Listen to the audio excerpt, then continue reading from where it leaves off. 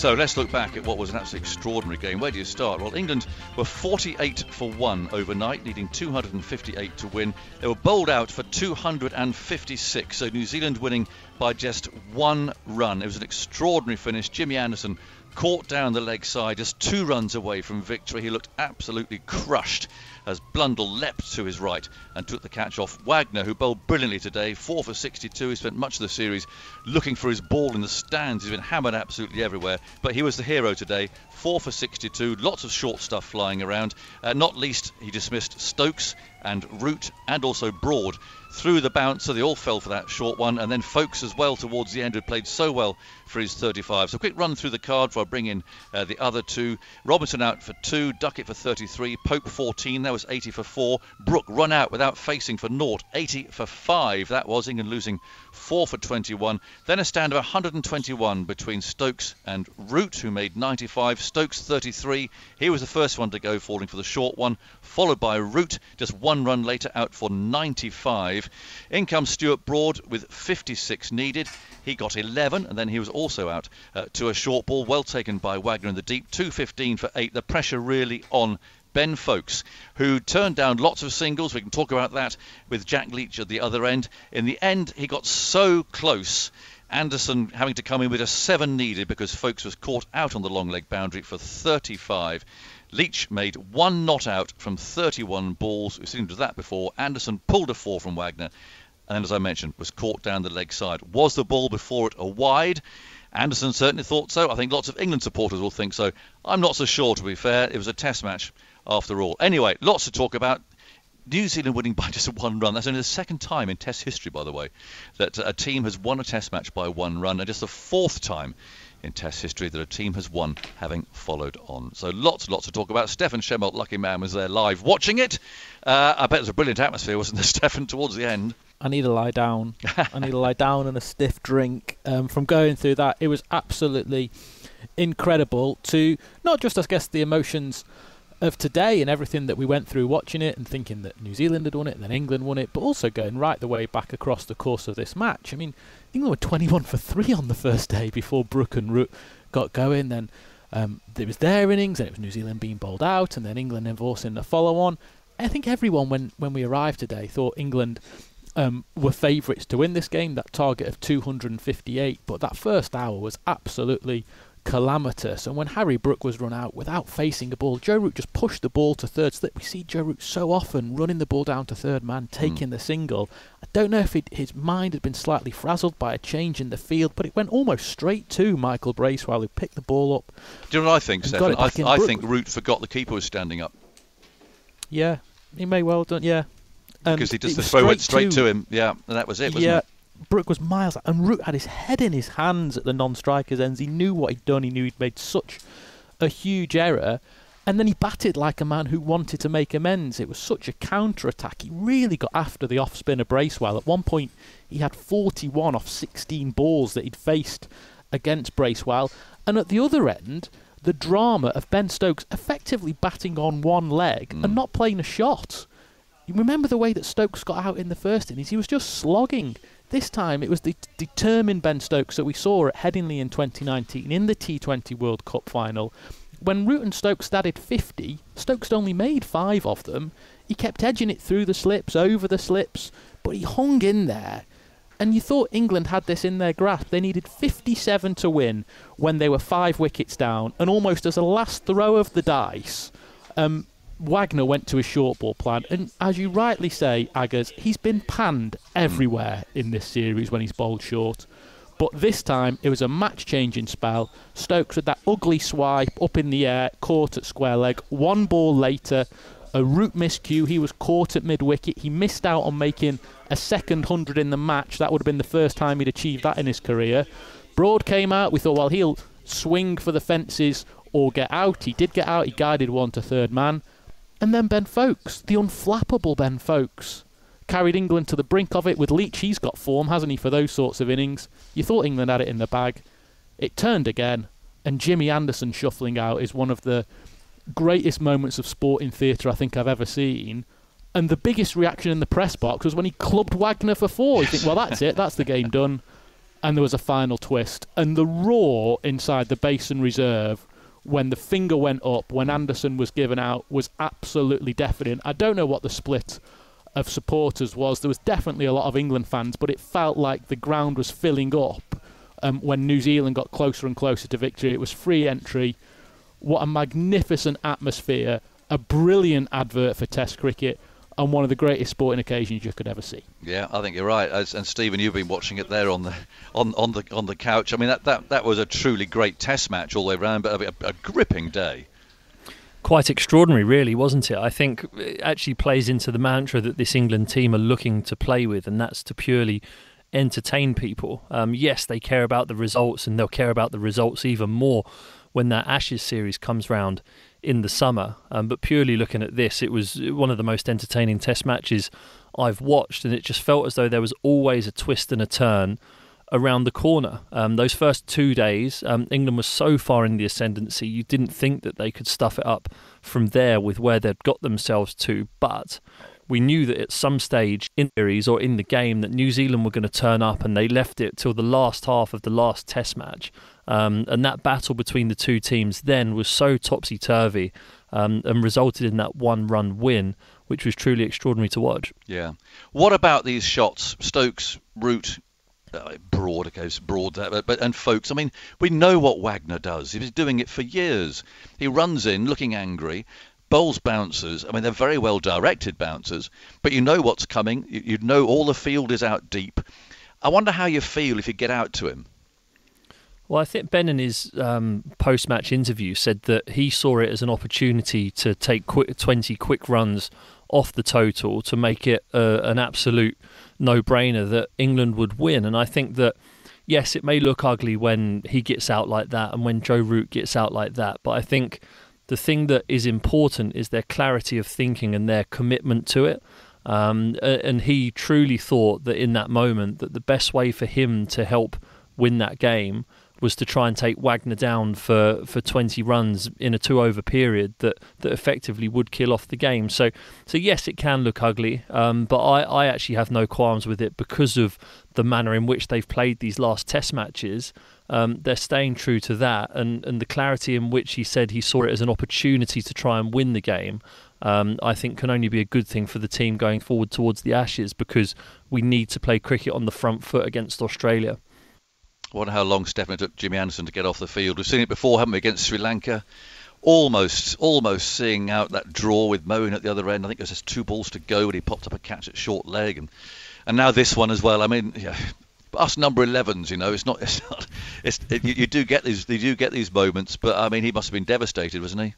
This narrative of Jimmy Anderson hitting the win, winning runs in Test cricket has actually been, been bubbling along through the whole tour and through the whole Stokes McCullum era. I think it was at Edgbaston when England completed that chase against India when Stokes tried to complete Anderson, to, tried to persuade Anderson to put his pads on and go out and hit the winning runs because he knew that he's never done it. And in a press conference early on in this tour, I think it was before the Mount Maunganui test, Anderson got asked, Do you ever want to do that? And he said, No. Why would I want to do that? I don't like batting. I've got no interest in hitting the winning runs. And there, here he was. He had the chance to do it. Seven to win yeah. when he came to the crease. That four that he swiped off Wagner was incredible because the ball before he'd fended off a brutal bouncer. He'd gone so far back onto his stumps, you thought he was going to knock the bails off with his foot. That shot came out of nowhere. It bulleted to the boundary, and you thought, this is it. This is Jimmy Anderson's moment, another mm. chapter in that storied career. Now, Ben Stokes says that Anderson was smiling when he walked off because he was so pleased to have been part of that finish. I didn't see it. To me, I think Jimmy was still stewing about that that wide or non-wide the ball before, which I agree with you. I don't think it should have been called a wide. It was more a case of I think Wagner had, had bowled a lot of short deliveries to Anderson both in that over and the previous over, and those England fans amassed on the grass bank were getting on the back of the bowler and the umpire. Yeah. Well, I mean, did, do you think it was a wide, Stephen? Oh, well, the replay suggests yes, and had it been outside of those last two overs, um, they'd been pretty consistent in calling them. Um, we were in the studio, we were calling for Anderson to review it, to throw the tee towards Rod Tucker and say, review that one. Whether he could have done that or not, I'm I not don't think sure. you can do that. No, no I am not sure you can. No, no I don't think you can. It's Um, easy to get suckered into sort of a, a one-day mode, though, isn't it? When it comes down to tight as that. I mean, I'll be honest. I didn't think it was a test match wide, but but there we go. It's one of those things that uh, that can be debated. Uh, Stefan, you've been busy talking to lots of people, so let's get some reaction. First of all, you spoke to Ben Stokes. Ben, that was incredible to watch. What was it like to be a part of? Yeah, I mean, we, we got to obviously got to watch there the last sort of 45 minutes and see all that unfold. Um, but to be a part of that game was um, was amazing. To you know, for it to actually end up in this position after the first two and a half days is something that we probably didn't envision happening. But um, I've said it quite a few times already after the game. You know, the, the ground staff here have produced an amazing Test match wicket. I think it's one of the best ones that we played on in a very long time. Um, there was enough in it for the bowlers. It spun, and if you felt you got in, you could capitalise and make some big scores like we've seen from both our lads and also the Kiwi boys. So, but yeah, I mean, being on the losing end of that game is is obviously disappointing. But I think just yeah, being a part of it um, was, you know, I guess just takes any disappointment away from losing it because you know that's what. It's what you play a game. It's what you play Test match cricket for, is to be in those moments, and um, we'd obviously love to be on the other side of it. But you know, losing games like that is what it is, isn't it? Did you think Jimmy had got it? Uh, yeah, I mean, especially when he cleared his front leg and Hoyt wags through there to get to two. I mean, yeah, yeah. I mean, look, Jimmy's obviously. I think watching him walk off, actually, I, I didn't know what Jimmy would react to because obviously he's been in those situations a few times before, and he's a bit let down and, and disappointed in himself. But the fact he was walking off smiling, I think, made just sort of everything that you know we speak about and what we want to do just a reality because James Anderson was the one to get out with two to win, but he's walking off smiling, knowing that he's been a part of something unbelievable. Um, and everyone who turned up today here, um, obviously free entry was great as well. So I think our side and the Kiwi boys know that they've they've given everyone here who turned up a great game to watch. Can you just talk us through the ebbs and flows of the Test match as a whole, from what Harry and Joe did in the first innings through to how you bowled, and then the follow-on to, to how the game ended today? Uh, well, honestly, I, I, thought it was always our game to, to, that we were in control of. Um, you know, the follow-on where you look at we've uh, our opening bowlers have run through their opening their top order three games, uh, three innings in a row, um, and we wanted to keep putting the pressure on them. And, and we, I knew that New Zealand would have to play pretty much the perfect game from that point onwards to to even get us into this position. Um, but chasing 250, it was our game to lose. Um, but other teams are allowed to play better than us. Um, they're an international team. Um, they've obviously got quality players with both bat and ball, and um, sometimes when you come out on the losing end, it obviously means that the opposition's been better than you. And, and this week, New Zealand have been better than us. But looking back on the winter, winning four games out of five is something that we can all go home with and, and be very, very proud of. Um, you know, because that's not an easy thing to do even in defeat, this is what you say you want out of Test cricket, isn't it? For be entertaining for everyone who's come in and everyone watching or listening around the world. Yeah, and, and like when you take the the result and everything out of it, it just takes you know. But that doesn't mean for a second that we're not fussed about winning or losing. You know, we are disappointed when we lose, uh, and we also love winning because it's something that we always want to try and do. Something that we'll always give ourselves the best opportunity to do. And and if it doesn't work out that way, then we'll just hold our hands up and say we weren't good enough, or the opposition were better than us, and New Zealand were better than us this week. How's your knee? Uh, yeah, I mean, look, it's it is. I'm not going to lie, it is frustrating knowing that I've got something hindering me uh, quite a lot. You know, not being able to fulfil the the fourth seamer role that I have done for a long period of time now, and um, you know, I was getting frustrated out in the middle there because I was I'm obviously hurt batting. But I've got a good opportunity with a few months out in India whilst the IPL is going on to you know really concentrate on making sure that when we come to the Ashes in particular, that I don't have to worry about it. Even though England have lost today, there are a lot of England fans that are very excited about the Ashes. What would your message to them be? Uh, yeah, stay excited. Um, you know, we'll the amount of time that we've had over the last 10 months and building what we've sort of you know created in terms of this new new ethos and the way in which we play um, you know isn't going to um, change when you know the the pressure really does ramp up within the Ashes because um, that would just be a waste of 10 months getting a team into this position that we are now to then go you know even to go slightly back into our shell because we're playing against Australia in the Ashes um, uh, wouldn't have done the last you know 10 months any justice whatsoever um, so yeah I'm very excited um, but again Australia's going to be a new challenge and but we'll be trying to meet them with everything that we have done with every opposition we played over the last 10 months. Well, that's Ben Stokes with Stefan, who then spoke to Neil Wagner. Neil, I can't get my head around what I've seen today. Can you? No, I can't, mate. It's uh, yeah, pretty special test, but yeah, uh, who doesn't think Test cricket is alive? That's pretty pretty awesome. Um, just a yeah, pretty amazing uh, effort to get on the right side of it. Um, but England played some some serious cricket throughout the series. Was there a moment when you thought that match was gone? Uh, no, we always kept believing till the end. I guess um, games never over till the lady sings, I guess, in the sense. But um, yeah, I mean, England kept fighting, and, and so did we. And, and, yeah, it's just great fight from the lads, and, and finally got on the on the, the right side of things. Um, they played a, a, seriously good Test match, and um, and I thought the way we fought back to get ourselves back in a, in a winning position was was pretty good too. I mean, winning a, winning a Test match after following on, that's only been done three other times in Test history. Yeah, a very special effort, and, and like I said, full credit to, to Kane and, and Tom Blundell and Tim Southee, the way they batted and, and the pressure they put back onto to England, and um, then the way we stuck at it with the ball, uh, just kept hammering away and kept believing that we can make something happen, and, and yeah, at the end of it, we did. So um, yeah, just just a massive relief and, and uh, a pretty special Test match. Talk us through your spell. You kept running in, you kept banging the ball in. Yeah, I mean, there's um, sometimes during the series where I got a bit of punishment for um, doing that. Um, but yeah, again, a special mention to Harry Brook. I think he's a serious talent, the way he played it and how he got on with it. Um, yeah, put you under pressure to keep doing it. Yeah, there's times where I felt a bit unlucky. These balls were just sort of felt in, in no man's land or a couple of drop catches or things like that. That's part of cricket and, and part of the game, I guess. So sometimes it goes your way and sometimes it doesn't. And, uh, I guess this afternoon was just one of those where just um, I guess when you're away and, and, things just started happening and um, it's sort of easy to get a, get around the lads and get on a high from there. So um, yeah, it was pretty good. What about this as an occasion as well? Free entry at the Basin Reserve. Oh, it's a nice day, sun's out, uh, amazing crowd. I mean, I think the Kiwi support was outnumbered by English support at times. It sounded, it sounded like we were playing in England. Um, that's another thing of playing England. The way they support, their supporters are amazing. Uh, the Barmy Army makes it pretty special. It was a great atmosphere. Um, I guess all the days from both test rounds. So uh, yeah uh, pretty amazing to always play against England and a special special time, I guess. You've protected a proud unbeaten home record in Test series as well. Yeah, I guess it, it means a lot to us. Um, I guess any team is is quite tough to beat at home, and it's something that we're really proud of and want to keep obviously trying to, to maintain. And um, yeah, like I said, England played some, some seriously good cricket over this period of time, and uh, we kept fighting, and, and, things just went our way. Uh, it's it's something that I guess a, great characteristic from this team and this group that we just keep trying to fight and, and find a way. And um, and yeah, today it went our way. Test cricket alive and well?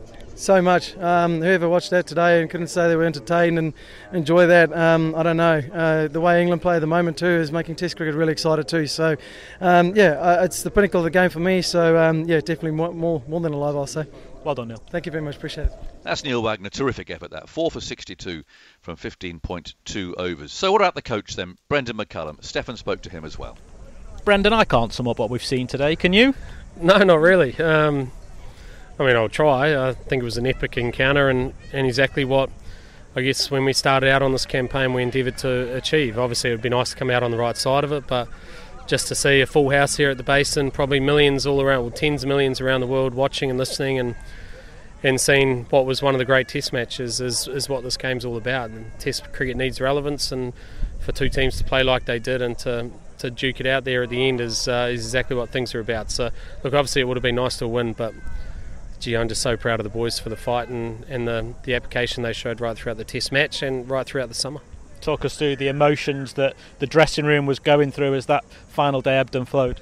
Uh, everyone was pretty calm, to be honest. I think, you know, again, the, the messaging from the skipper has been so consistent right throughout that this is what we're here to try and achieve. And yes, we want to win, um, and ultimately we'll always be um, judged on our results. But for us, the focus is about trying to play the style of cricket and to try and entertain people all around the world. And you know, I think that a uh, it gives a sense of freedom. It also b gives you your best opportunity for success. And it didn't happen today, but you know that you could sense within the dressing room there was still a belief and and uh, and also uh, a bit of I guess proudness that we were able to stay true to that match right throughout.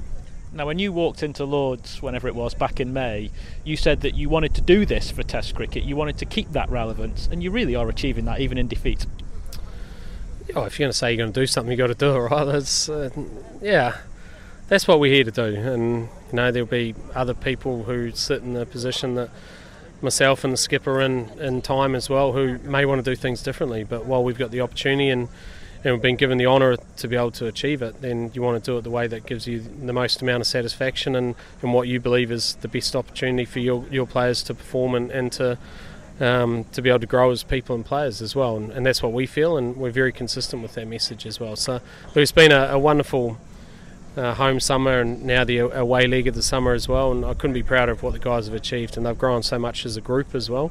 They've grown really tight as a group, and I think we've seen some incredible performances throughout the year.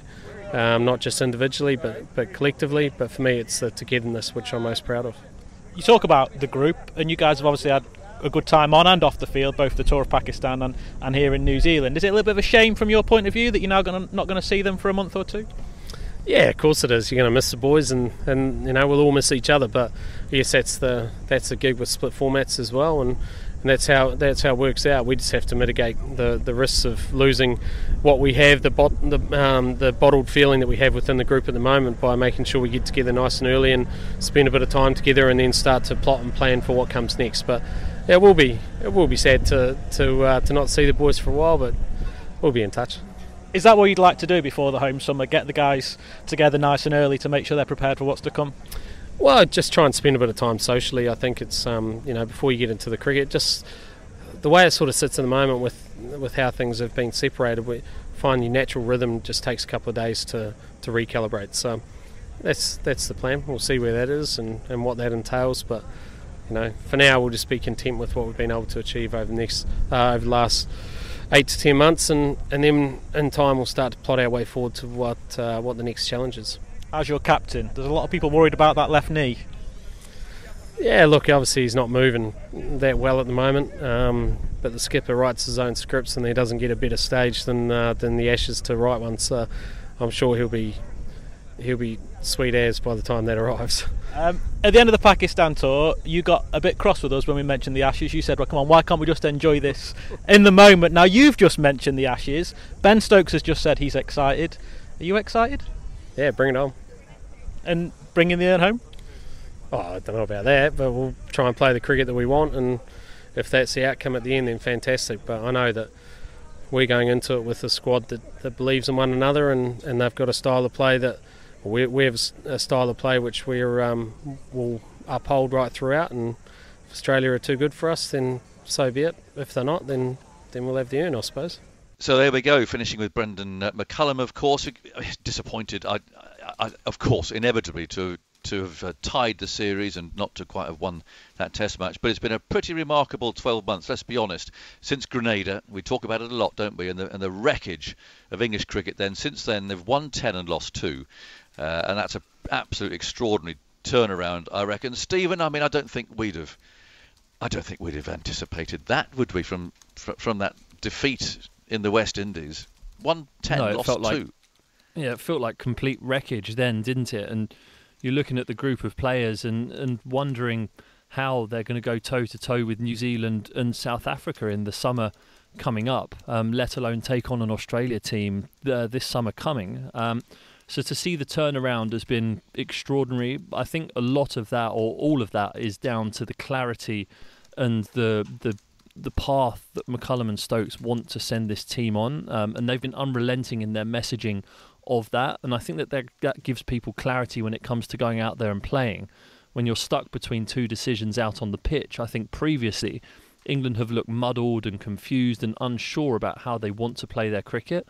Um, and I think the messaging that Stokes and McCullum have brought in have meant that even in a situation like today, where they lose a test match by one run, they'll be devastated. Yes, they'll be upset that they lost, and they'll look when they review it about the moments in the game that they could have done better, that could have led to them winning. But there was a plan, and there was clarity about that plan. And I think that's what people understand when they're watching this team now, is that they feel they can be aligned with something that's going on. And I think that that's very important and something that Stokes and McCullum have done expertly.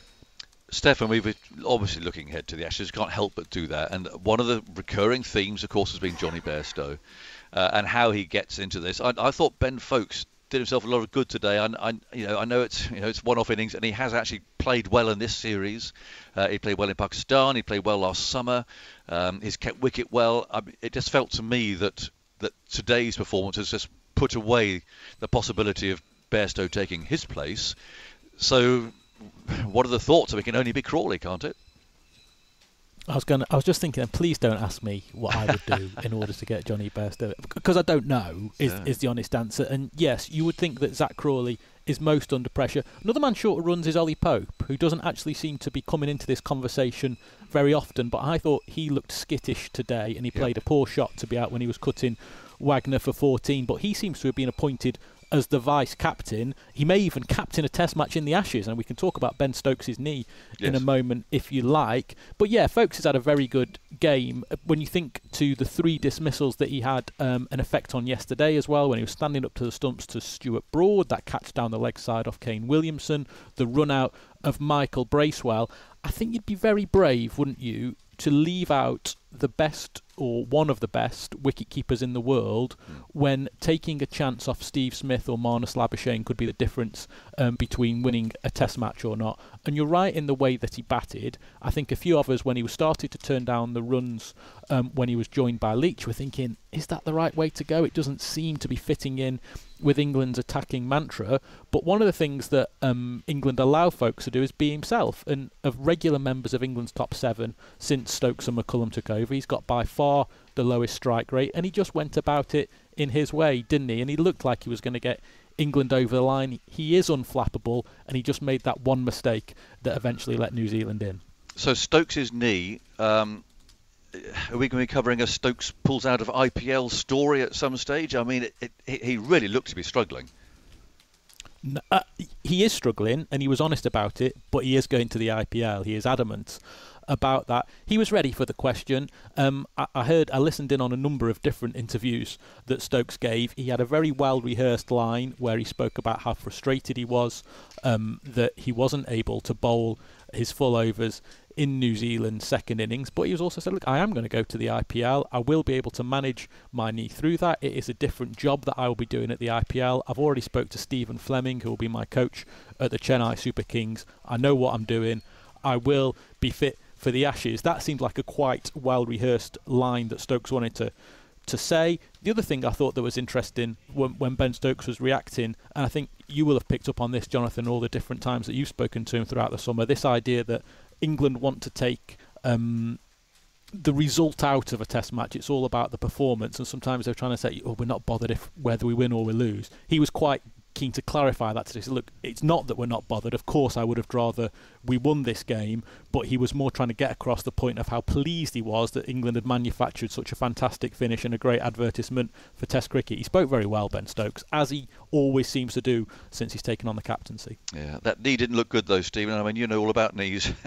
um, I do. you know that that didn't look great, did it? With the ashes round the corner. No, and, and knowing how debilitating it, it can be, it's actually the the thing about the knee is that also it, it make it brings trepidation into your mind when it comes to fully committing to what you're doing when you're bowling. Um, and we know that Ben Stokes is a wholehearted cricketer, um, and I've no doubt that that's probably led to him being in the position that he's in with his knee. Um, is almost not knowing when to stop sometimes in games, and we've seen him do many long spells uh, to drag his team back into the game. Um, and and that's the talismanic player that that people want uh, want to see Ben Stokes be, and, and he is being that as a leader and as a batter. Um, but his bowling is going to be a big part of that in the Ashes. So it's mightily important that he gets it right. Um, uh, he- he's going to see many ex. I'd imagine over the next few weeks before he goes to the IPL. Um, and and you never know. He may um, this may be his line now, or, or what his mind is at now. Um, but when he gets home and takes stock and, and has it rescanned and stuff, then he may change his mind. So, um, yeah, I think it's going to be a case of waiting and seeing. But certainly, knees aren't that easy to um, to get right, um, especially when you're 31, like Ben Stokes is.